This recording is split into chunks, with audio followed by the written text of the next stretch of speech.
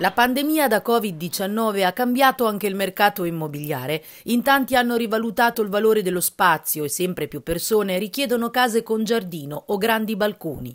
Un settore, quello del mondo immobiliare, tutt'altro che in sofferenza. Gli affitti a Pesaro nell'ultimo anno sono andati a ruba e la domanda ha superato l'offerta. Bene anche le vendite, non solo nella zona mare in centro storico, ma anche nelle zone più periferiche della città. Con la pandemia le persone si sono anche rese conto di qual è il valore della casa, perché le persone si sono trovate a vivere molto di più la casa, le mura domestiche e quindi se prima si usava quasi la casa per dormire no? e si stava tutto il giorno fuori, adesso c'è di nuovo un grande valore per l'immobile, per la prima casa, quindi sia il discorso vendite che il discorso affitto va sicuramente benissimo, le richieste sono tante e anche nelle vendite abbiamo visto anche proprio questo cambio, della, anche la ricerca della casa anche leggermente più fuori dal centro ma con un po' di spazio esterno, proprio cercare la tranquillità per potersela godere di più. Questa è una priorità che è venuta fuori assolutamente con la pandemia.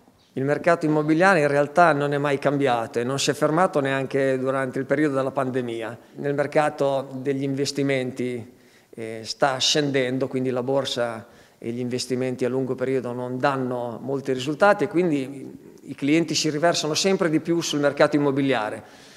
Teniamo conto che la maggior parte delle vendite e degli interessamenti sono nell'ordine dei 150 mila euro. In ogni caso le previsioni sono ottimistiche. Perché tutti pretendono con questa storia di stare dentro casa, di avere uno, uno sfogo, o un balcone praticabile, non il solito balcone piccolo, o un, un giardino. È vero che in questo momento gli affitti a Pesaro stanno andando a ruba, cioè non ce ne sono più di fatto? No, non ce ne sono più perché eh, quei pochi che ci sono, eh, sono, li fanno direttamente, perciò non passano nelle agenzie, però non ci sono appartamenti da affittare, o, a meno che ci sono, ma quelli che eh, ad canone concordato vengono oltre 700 euro al mese è difficile affittare.